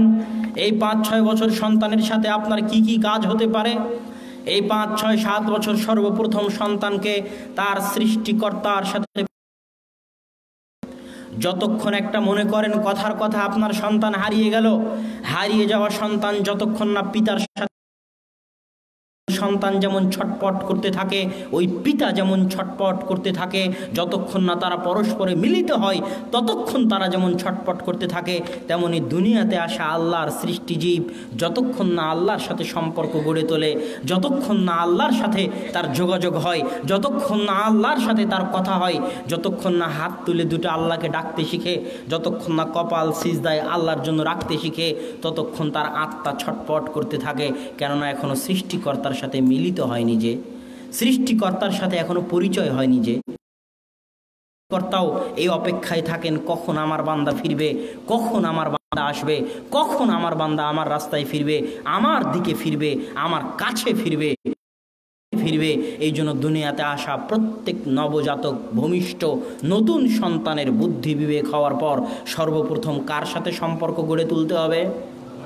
আল্লাহর সাথে। সর্বপ্রথম তাকে পরিচিত করে তুলতে হবে আল্লাহর সাথে, যেন সে কোনোদিন হতবিহব্বল না হয়, ভয় না পায়। আল্লাহকে বুঝতে শিখে, আল্লাহ কোথায় আছে জানতে শিখে, আল্লাহকে ডাকতে শিখে, বিপদ আপদে আল্লাহর কাছ থেকে পানাহ চাইতে শিখে এবং বিপদ আপদে আল্লাহর উপর ভরসা করতে শিখে, শক্ত, মজবুত, স্থায়ী, কঠিন হতে শিখে, পৃথিবীর কাউকে দেখে ভয় না পেতে শিখে, শুধু আল্লাহকে দেখে ভয় পেতে শিখে, শিক্ষা হতে হবে। দ্বিতীয় আউ্বাল আলা ওয়াজহিল আরজ তো আল্লিম ওয়ালাদাক হুয়াল কোরআন, আপনি আপনার ছেলেকে ডাক্তার বানান, ইঞ্জিনিয়ার বানান, বিজ্ঞানী বানান, আমার কোনো আপত্তি নাই, যেটাই বানান, তবে আপনার উপর ফরজে আইন, আপনার উপর ফরজে আইন, আপনার উপর ফরজে আইন, আপনার উপর ফরজ, আমি চ্যালেঞ্জ দিয়ে গেলাম, আপনার উপর ফরজ, আপনার সন্তানকে সর্বপ্রথম যে শিক্ষা আপনি দিবেন, সেই শিক্ষা হবে কোরআনের শিক্ষা। যদি কোরআনের শিক্ষার আগে অন্য কোনো শিক্ষা সন্তানকে দেওয়ার চেষ্টা করেন, আমি বলে গেলাম, সর্বপ্রথম যে শিক্ষা দুনিয়াতে আসার পর সে পাবে, তাকে যদি কোরআনের শিক্ষা বাদ দিয়ে কিন্ডার গার্ডেনে ভর্তি করেন, তাকে যদি কেজি স্কুলে ভর্তি করেন, এখনও সে কোরআন পড়তে পারে না, এখনও সে কোরআন পড়া শেখেনি, এখনও সে আরবি অক্ষর চেনে না, তাহলে বাপ বেটা উভয় গুনাহগার, এই গুনাহ মরা বেড়াতে হবে, কেয়ামত পর্যন্ত বয়ে বেড়াতে হবে। যে কোনো মূল্যে, যাই বানান, যে কোনো মূল্যে, মুচি হোক ম্যাথর হোক, রিক্সা চালক হোক, ভ্যান চালক হোক, যে হোক, রাস্তায় ভিক্ষে করে খাক, তাতেও আপত্তি নাই। কিন্তু সর্বপ্রথম যে জিনিসটা তাকে শিখাতে হবে, সেটা হচ্ছে কোরআন পড়তে পারতে হবে। কোরআন পড়তে পারা ছাড়া কোনো মুসলমান মুসলমান, এটা কল্পনা করা অনেক কঠিন, অনেক ভয়াবহ। এই জন্য সবার আগে কোরআন পড়া শিখতে হবে। কেননা আমার এবং আপনার হেদায়েতের মাধ্যম হচ্ছে কোরআন। আল্লাহ কোরআনকে বলেছেন হুদাল্লিন নাস আল্লাহ বলেনি আবদুল্লাহ, তুমি হেদায়েতের মাধ্যম। আবদুল্লাহ আজকে এসে দশটা মানুষের সামনে বক্তব্য দিবে আর আপনি হেদায়েত হয়ে যাবেন, এটা আল্লাহ বলেননি। আল্লাহ বলছে, কোরআন নাস কি থাকলে মানুষ হেদায়েত হবে? কোরআন থাকলে মানুষ হেদায়েত হবে। আমি আপনাকে হেদায়েত করতে পারতেছি, আমার কথা শুনে আপনি হেদায়েত হচ্ছেন কেন? আমার কথার মধ্যে কোরআন আছে তাই। আমার কথার মধ্যে কোরআনের কথা আছে তাই। আমার কথার মধ্যে আল্লাহর কথা আছে তাই। আমি মাধ্যম মাত্র। এই জন্য কোরআন জানতে, বুঝতে, পড়তে শিখতে হবে। এটা হচ্ছে দ্বিতীয় জরুরি কাজ। যে কোনো মূল্যে এখনও তওবা করতে পারেন। সন্তানকে যদি কোরআন না শিখিয়ে থাকেন এখনও তওবা করতে পারেন যে স্কুলে থাক, যত কোটি টাকার স্কুলে থাক, আগে বের করে নিয়ে এসে আগে কোরআন শিখান। কোরআন শিখানোর পর আবার কোথায়, অক্সফোর্ড বিশ্ববিদ্যালয়ে পড়াবেন কিনা, সেটা আপনার ইচ্ছা। তাতে ইসলামের কোনো বাধা নাই, কিন্তু কোরআনের শিক্ষা, কোরআনের জ্ঞান, তার কাছে অবশ্যই থাকতে হবে। তিন নাম্বার কাজ আপনি কি করবেন? তিন নাম্বার কাজ হচ্ছে পাঁচ, ছয়, সাত বছরের এই সন্তান আঠারো, বিশ বছর বয়স না হওয়া পর্যন্ত তাকে শুধু আপনি পাঁচটা মৌলিক অধিকার দিবেন। এই পাঁচটা মৌলিক অধিকারের বাইরে কোনো অধিকার তাকে দিতে যাবেন না। পাঁচটা মৌলিক অধিকার কি? অন্ন বস্ত্র, শিক্ষা, চিকিৎসা, বাসস্থান। অন্ন মানে খাবার, কি খাবে সেই খাবার দিবেন। বস্ত্র মানে কি পরবে সেই পড়া দিবেন। শিক্ষা, কোথায় শিক্ষা নিতে হবে, সেখানে কি খরচ সেই খরচ বহন করবেন।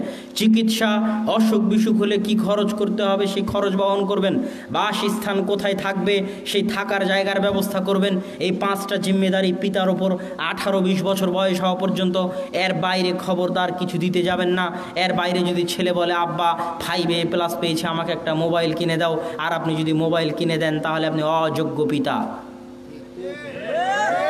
আমার দৃষ্টিতে নয়। আপনি ফেসবুকের প্রতিষ্ঠাতা জুকারবার্গের সাক্ষাৎকার পড়েন। প্রথম আলোতে সার্চ দিয়ে, গুগলে সার্চ দিয়ে পড়েন।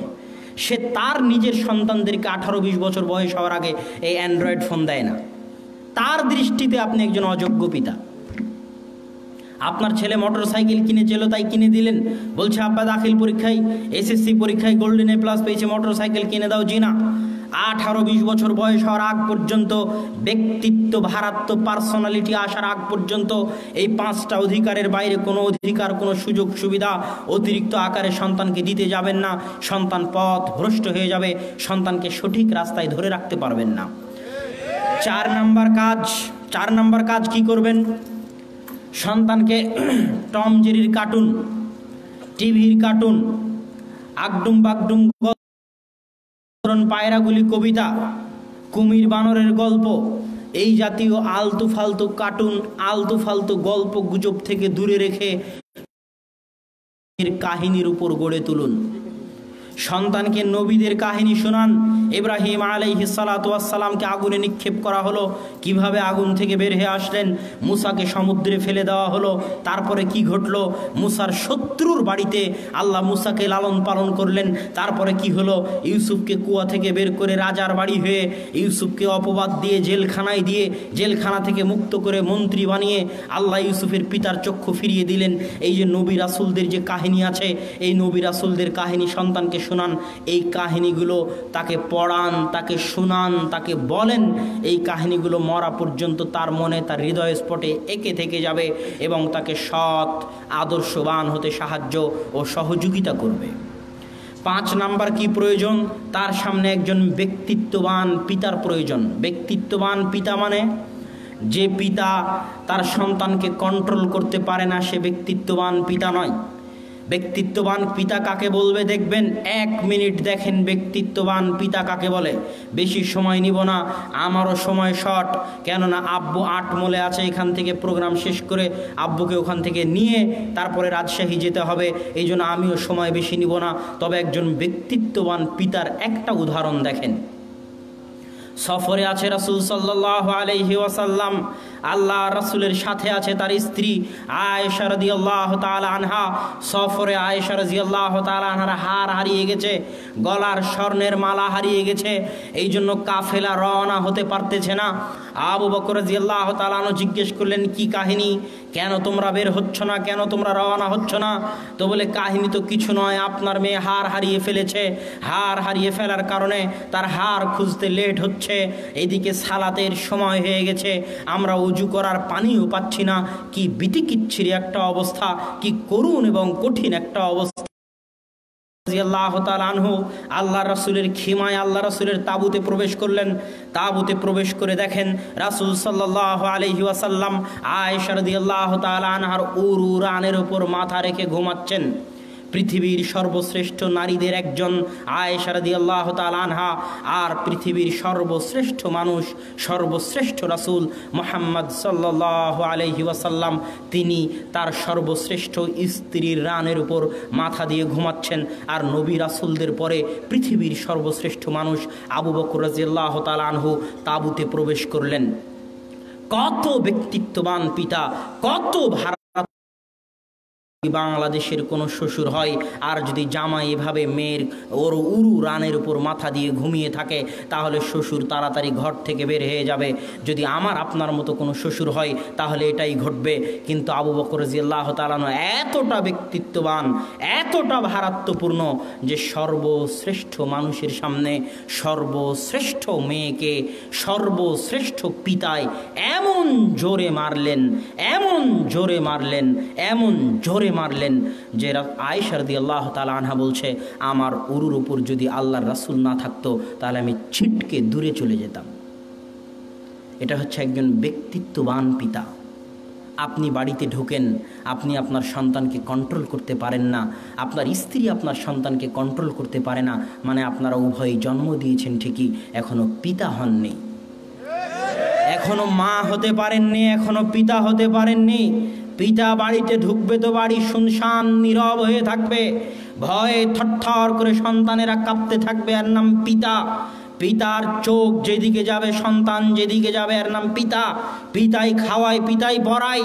কিন্তু পিতা নিজের ভারাত্ম ব্যক্তিত্ব রক্ষা করতে পারেনি, এই জন্য পরিবার কন্ট্রোল করতে পারেনি, এই জন্য আপনাকে ব্যক্তিত্ববান, ভারাত্মবান হতে হবে। তাহলে আপনার সন্তান আপনার থেকে শিখবে। আর যদি আপনার মধ্যে ব্যক্তিত্ব, ভারাত্ম না থাকে, তো আপনার সন্তান আপনার থেকে শিখতে পারবে না। আর যখন সন্তান পিতার থেকে শিখতে পারবে না, তখন সন্তানের পথভ্রষ্ট হওয়ার সম্ভাবনা অনেক অনেক গুণ বেশি। আমি বক্তব্য লম্বা করব না। এবার পাঁচ নাম্বার পয়েন্ট। আগের চারটা কি বলেছিলাম, ভুলে গেছেন কিনা মনে নাই? সর্বপ্রথম সন্তানকে তাওহিদের সাথে সম্পৃক্ত করে দিতে হবে। দ্বিতীয়ত, সন্তানকে টিভি, মোবাইল, আঠারো, বিশ বছর বয়স পর্যন্ত দূরে রাখতে হবে। তৃতীয়ত সন্তানকে সন্তানকে আপনি নিজে আদব কায়দা শিখাবেন, নিজে আদর্শ শিখাবেন। চতুর্থত সন্তানকে নবীদের কাহিনী শোনাবেন, বিভিন্ন কার্টুন আজে বাজে ফালতু জিনিস থেকে দূরে রাখবেন। পঞ্চমত সন্তানের সামনে আপনাকে ব্যক্তিত্ববান, আদর্শবান হিসেবে পেশ করতে হবে, যেন সন্তান আপনাকে অনুসরণ করতে পারে। ষষ্ঠত সন্তান যদি এই গাবতলির বাজারের রাস্তা চিনতে পারে, সন্তান যদি সিনেমার টিকিট কোথায় পাওয়া যায়, সেই রাস্তা চিনতে পারে। সন্তান যদি বিপিএলের জুয়া কোথায় হয় সেই রাস্তা চিনতে পারে। সন্তান যদি মিষ্টির দোকান কোথায় সেই রাস্তা চিনতে পারে। কোন বাড়িতে টিভি আছে, সেই বাড়িতে কীভাবে যাওয়া যায়? কয়টার দিকে টিভিতে অনুষ্ঠান আছে সেটা মনে রাখতে পারে। তাহলে সন্তানকে অবশ্য অবশ্যই মসজিদের রাস্তাও চিনাতে হবে। সম্পর্ক ছাড়া আদর্শ সমাজ, আদর্শ পরিবার, আদর্শ সন্তান গড়ে উঠতে পারে না। এক মিনিট আপনাকে আমি দেখাই। আল্লাহ তাআলা তার ইব্রাহিমকে বলতেছে, ইব্রাহিম মানে সকল নবীর পিতা।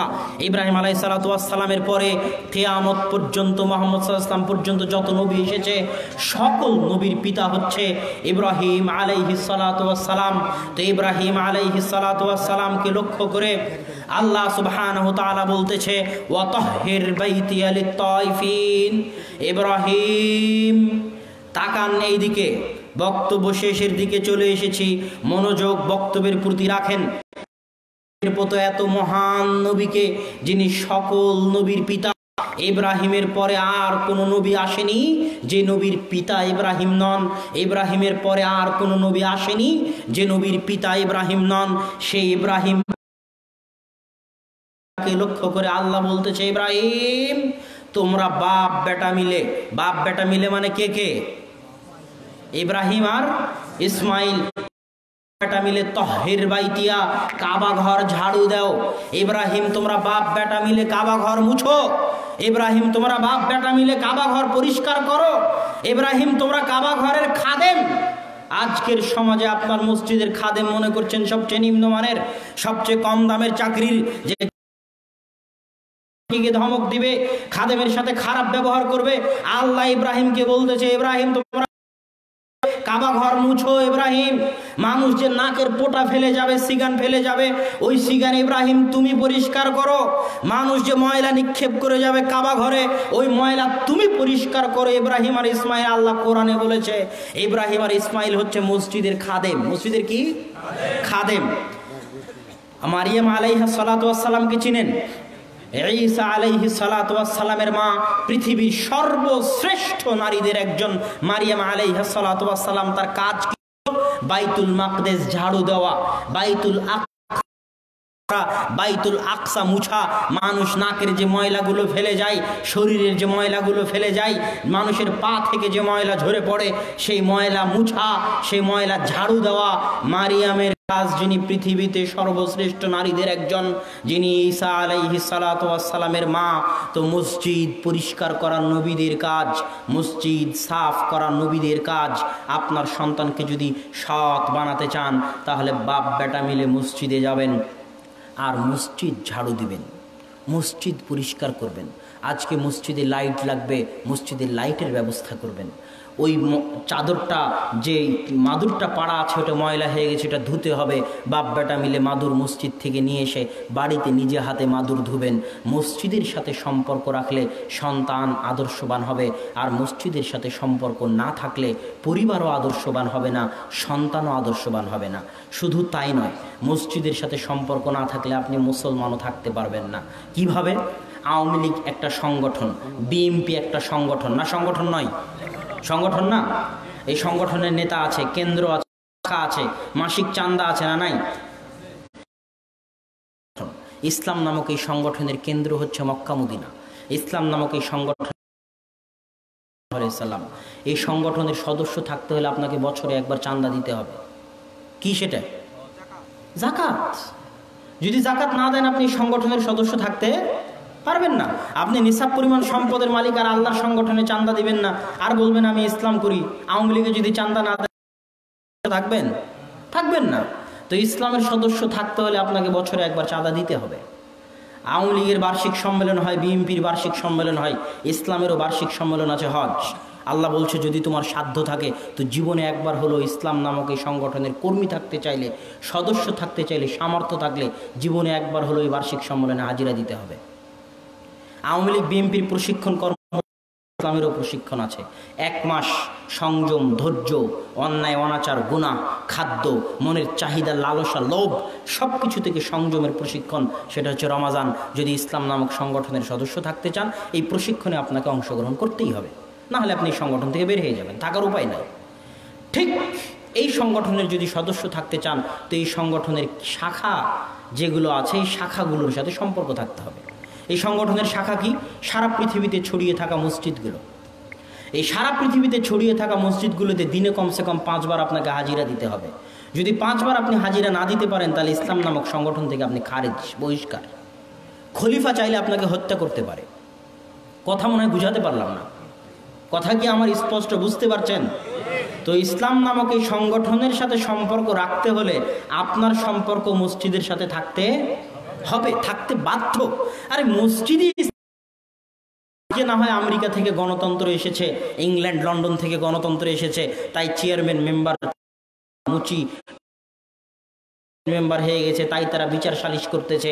নাহলে এগুলো একটাও ইসলামে চলবে না। ইসলামে মসজিদ হচ্ছে সবকিছু। মসজিদে বিচার হবে মসজিদেই বিয়ে হবে মসজিদি কোর্ট মসজিদি কাচারি, মসজিদের ইমামই সব কিছু ইমাম হবে যোগ্য, নেতৃত্বে সম্পন্ন, শিক্ষিত মানুষ, যার প্রভাব থাকবে সমাজে, যার দাপট থাকবে সমাজে। কমিটি কিসের ইমামের উপর দাপট চালাবে? ইমাম সমাজের উপর দাপট চালাবে। বিচার, সালিশ, বিবাহ শাদি এভরিথিং মসজিদ থেকে হবে। কেননা এটা ইসলামের শাখা কেন্দ্র। বুঝেননি?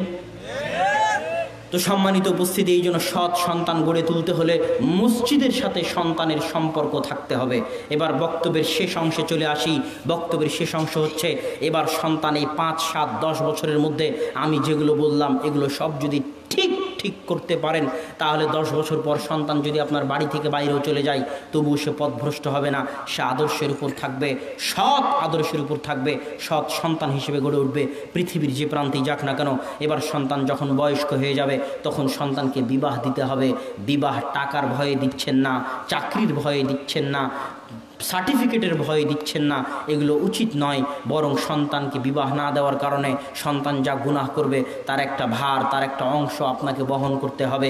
তাই সন্তানের বিবাহের জিম্মেদারি পালন করুন, বিবাহ দিন। বিবাহ দেওয়া হয়ে গেল এখনও আদর্শ পরিবারের বৈশিষ্ট্য শেষ হয়নি। বিবাহ দেওয়ার পর আদর্শ পরিবারের বৈশিষ্ট্য কি হতে পারে? সন্তানের বিবাহ হওয়ার পর দুই তিনটে সন্তান একসাথে থাকে, ভাবির সাথে পর্দা করা লাগবে না লাগবে না? কেন লাগবে? আল্লাহ সুবহানাহু তাআলা যাদেরকে মাহরাম করে দিয়েছেন, তারা কারা? যাদের সাথে বিয়ে হারাম, বাপের সাথে মেয়ের বিয়ে হারাম, এই জন্য বাপ মেয়ের মাহরাম। মায়ের সাথে ছেলের, মায়ের সাথে ছেলের বিয়ে হারাম, এই জন্য ছেলে মায়ের মাহারাম। কিন্তু আপনার ভাই যাকে বিয়ে করেছে, আপনার ভাই আজ যদি তাকে তালাক দেয় ইদ্যুৎ পালনের পর আপনি তাকে বিয়ে করতে পারবেন। বুঝতে পারেননি মনে হয়? আপনার চাচা যাকে বিয়ে করেছে, আপনার চাচি, আপনার চাচা যদি তালাক দেয়, আপনি ইদ্যুৎ পালনের পর আপন চাচিকে বিয়ে করতে পারবেন। আপনার মামা যাকে বিয়ে করেছে, আপনার মামি, আপনার মামা যদি আপনার মামিকে তালাক দেয় ইদ্যুৎ পালনের পর আপনি বিয়ে করতে পারবেন। এই জন্য যাদের সাথে বৈবাহিক সম্পর্ক জায়েজ, তাদের থেকে পর্দা রক্ষা করতে হবে। পর্দার মধ্যে আত্মমর্যাদা আছে, পর্দার মধ্যে আত্মসম্মান আছে, আর যার মধ্যে পর্দা নাই, তার মধ্যে দিয়াতা আছে। দিয়াতা মানে বুঝেন, শুকুর হচ্ছে দায়ুস। শুকুরের শুকুর হচ্ছে দায়ুস। শুকুর কি করে? শুকুর আর এক শুকুরের পিছন থেকে পার্শ্ব দেশ থেকে পশ্চাৎ দেশ থেকে চেটে চেটে গু খায়। এটা শুকুরের স্বভাব। এই জন্য যারা শুকুরের গোস্ত খায়, যাদের রক্তে শুকুরের রক্ত থাকে, তাদের সামনে যদি তাদের ছেলে মেয়ে বইয়ের সামনে আর যদি জেনাও লিপ্ত হয় প্রকাশ্যে, তবুও কোনো প্রতিক্রিয়া তার শরীরে হয় না। কেননা তার শরীরে শুকুরের রক্ত প্রবাহিত আছে, সে এখন দায়ুস হয়ে গেছে, তার মধ্যে আত্মমর্যাদা নাই, আত্মসম্মান নাই, আর যে মোহরানা দিয়ে বিয়ে করেছে, যার রক্তে শুকুরের রক্ত নাই, যার রক্ত পুজ হয়ে যায়নি, যে এখনও মনে করে সে মুসলমান, আর মোহরানা দিয়ে বিয়ে করেছে, নিজের বউকে নিজে খাওয়ায়, নিজের মেয়েকে নিজে খাওয়ায় তার বউ, তার মেয়ে যদি পর্দা না করে, আর এটা যদি তাকে একটুকু সহ্য না হয়, একটুকু কষ্ট না হয়, তাহলে সে এখনও সে এখনও আদর্শবান, আত্মমর্যাদা সম্পূর্ণ পুরুষ হতে পারেনি। এই জন্য বাড়িতে পর্দার হেফাজত করতে হবে। কেননা রাসুল সাল্লাহ সাল্লাম বলেছেন, লা ইয়াদখুলুল জান্নাতা দায়ুস। দায়ুস জান্নাতে প্রবেশ করবে না। যে বাড়িতে পর্দা রক্ষা করতে পারে না, সে জান্নাতে প্রবেশ করবে না। যে বাড়িতে পর্দা রক্ষা করতে পারে না, সে জান্নাতে প্রবেশ করবে না। এবার তারপরের কাজ কি হবে? বিবাহ শাদী দিয়ে দিয়েছেন। বিবাহ শাদীর পর বাড়িতে দুই ভাই মিলে থাকে। এখন পরিবার কোনটা পরিবার? আপনার পরিবার আপনার ভাইয়ের পরিবার নয়, ভাইয়ের পরিবার আলাদা আর এক ভাইয়ের পরিবার আলাদা। আপনি, আপনার স্ত্রী, আপনার ছেলে মেয়ে এবং আপনার বাপ মা এক পরিবার, দুই ভাই মিলে কোনোদিন এক পরিবার নয়। এই জন্য দুই ভাই একসাথে থাকার যে চিন্তা, এই চিন্তা বিবাহের পর সবাই আলাদা আলাদা। এটাই ইসলাম সমর্থন করে। সবার পরিবার আলাদা, এটাই ইসলাম সমর্থন করে। এবার যখন বাপ মা বৃদ্ধ হয়ে গেল, তখন বাপ মায়ের খেদমতের দায়িত্ব পালন করতে হবে। ওই সন্তানকে এটাও আদর্শ পরিবারের বৈশিষ্ট্য, একটি বৈশিষ্ট্য। কেননা পিতা মাতায় আপনার জান যদি দোয়া করে দিয়ে যায়, সন্তুষ্ট থেকে যায়, আপনি তো বাঁচবেন বাঁচবেন, আপনার চোদ্দ পুরুষ বাঁচবে পরবর্তী। আপনার পরবর্তী চোদ্দ পুরুষ পিতা মাতার দোয়ায় বাঁচবে। দলিল?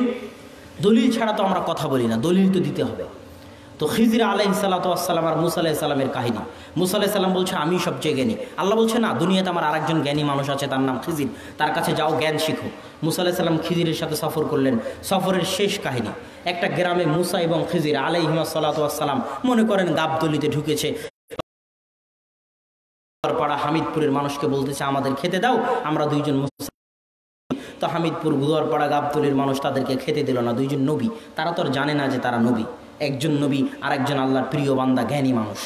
তো যখন খেতে দিল না, তখন মুসা আলাহিসাল্লামের মন খুব খারাপ। মুসা আলাহিসাল্লাম বলছেন, চলেন এই গ্রামে থাকব না। খিজির বলছে, না, এই গ্রামে একটু কাজ আছে। কি কাজ? ওই দেখতে পাচ্ছেন একটা বাড়ি করতে হবে। দুইজন মিলে মিস্ত্রি যোগালি আর ওই লেবার দুইজনই মিস্ত্রি, লোবার, জোগালি সব কিছু হয়ে ইট, মাটি, ঢেল কেটে দুইজন মিলে বাড়িটাকে হেফাজত করে তৈরি করে দিলেন। মুসা আলাইসালামের মন খুব খারাপ, যেই গ্রামের লোক খেতে দিল না, সেই গ্রামের মানুষের আপনি বাড়ি ঠিক করে দিলেন। সালাম উত্তরে বলতেছে, আপনি জানেন না। খানা আবা ওয়াহমা সালেহা, যাদের বাড়ি ঠিক করে দিলাম, তাদের বাপ মা সৎ ছিল। হেফাজত করলেন। বাপ মাকে যদি সঞ্চয় রাখতে পারেন, আপনি তো বাঁচবেন বাঁচবেন।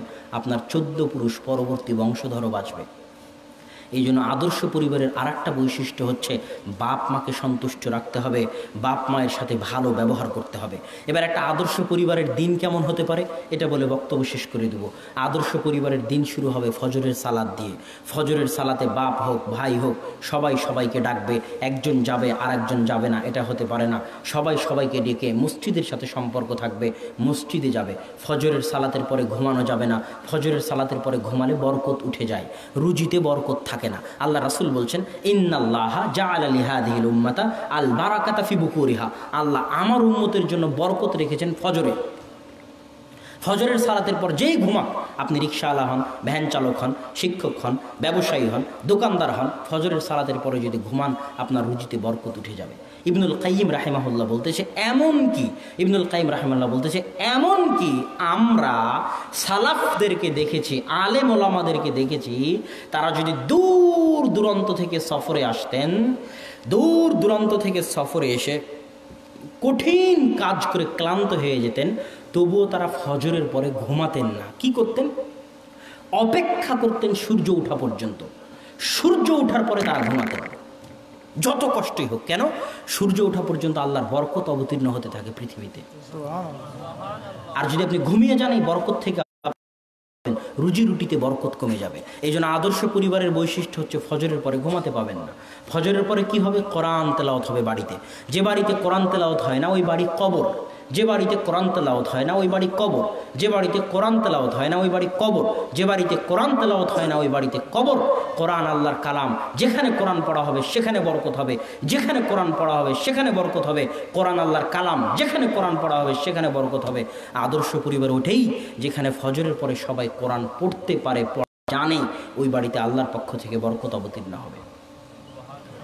সকাল শুরু হতে হবে কোরআন দিয়ে, দিন শেষ হতে হবে কোরআন দিয়ে। আপনি যদি দোকানদারও হন, তো দোকান খুলে আগে কোরআন তেলাওত করবেন, আপনার দোকানে বরকত হবে। দিনও শেষ করবেন আল্লাহর কালাম দিয়ে, আপনার জীবনে বরকত হবে, আপনার বাড়িতে বরকত হবে, আপনার সংসারে বরকত হবে। আদর্শ পরিবারের আরও কিছু গুরুত্বপূর্ণ বৈশিষ্ট্য, মেহমানদারির অভ্যাস থাকতে হবে, মানুষকে দেওয়ার অভ্যাস থাকতে হবে। যেটা আপনি দিবেন, ওটা আপনি দিয়েন না, এটা আমার পরামর্শ। যেটা আপনি দিবেন, ওটা আপনি দিয়েন না, আপনার ছোট্ট বাচ্চাকে দিয়ে দেওয়ান। একটা ফকিরকে একটা ভিক্ষা দিতে হবে, আপনি দিয়েন না। বাড়ির ছোট্ট ছেলেকে ডাকেন, আবদুল্লাহ, ফকিরকে ভিক্ষাটা দাও তো বাবা। যাতে সে দেওয়া শিখে। কথা বুঝেননি? যাতে সে দেওয়া শিখে। কোনো সময় কাউকে ফিরিয়ে দিবেন না। সে মুখাপেক্ষী হোক আর না হোক, সে চোর হোক, ধোকাবাজ হোক, তাতে যায় আসে না। দলিল, বোখারির হাদিস। বোখারির হাদিসে আল্লাহ তিনজন বনি ইসরায়েলের লোককে পরীক্ষা করার জন্য ফেরেস্তা পাঠিয়েছিলেন। হাদিস জানেন তো? সবার জানা আছে না? তো ওই ফেরেস্তাকে আসলেই ফকির ছিল? মিথ্যা ফকির ছিল না তো। ওই ফেরেস্তাকে আসলেই গরিব ছিল। ফেরেস্তা অভিনয় করে এসে বলতে আমি মুসাফির কিছু দেন। কথা বুঝতে পারেননি? তো তখন দেওয়াটা পরীক্ষা না পরীক্ষা নয়? পরীক্ষা। তা আপনি কেন এটা ভাবতে যান যে ফকির সামনে এসেছে সে মিথ্যুক না ধোকাবাজ? এটা পরীক্ষা। সে ফকির তার পরীক্ষা আল্লাহ আপনার পরীক্ষা দিয়ে পাশ করেন। মিথ্যুক হোক, ধোকাবাজ হোক, সামনে এসেছে, দিয়ে দিবেন। কোনো সময় মানুষকে না করবেন না। আদর্শ পরিবারের বৈশিষ্ট্য হচ্ছে মানুষকে দেওয়ার অভ্যাস থাকতে হবে বাড়িতে। ফকিরকে দেওয়ার অভ্যাস থাকতে হবে বাড়িতে। মাফ করেন, এই কথা বাড়িতে বন্ধ করে দিতে হবে। মেহমানদারি করার অভ্যাস থাকতে হবে, ইত্যাদি। অপচয় করা যাবে হবে। আল্লাহ সুবহান তালা আমাদেরকে একটি আদর্শ পরিবার গড়ে তোলার তৌফিক দান করুক। আল্লাহ আমিন। আজকের স্টেজের পাশে আপনারা আমার লেখা মিন্নাতুল বাড়ি আমরা হাদি বাধ্য এই বই দুটি এবং মাসিকালে এতেসাম। মাসিকালে এতেসাম মাত্র বিশ টাকা বা পঁচিশ টাকা মূল্য। মাসিকালে এতেসাম কিছুই যদি না পারেন মিন্নাতুল বাড়ি আমরা হাদিস মানতে বাধ্য কিছু যদি না নিয়ে যেতে পারেন ফেব্রুয়ারি। তো কমসে কম মাসিকালে এতেসাম নিয়ে যাবেন। আর জরুরি ঘোষণা জরুরি ঘোষণা আগামী তেরো চোদ্দোই ফেব্রুয়ারি আল জামিয়া সালাফিয়া ডাঙ্গিপাড়া রাজশাহীতে বিশাল সম্মেলন। সমগ্র গাবতলিবাসীকে আপনাদের জামাই হিসেবে দাওয়াত দিয়ে গেলাম। অবশ্য অবশ্যই আসবেন, ইনশাআল্লাহ। কোন মাদ্রাসায়?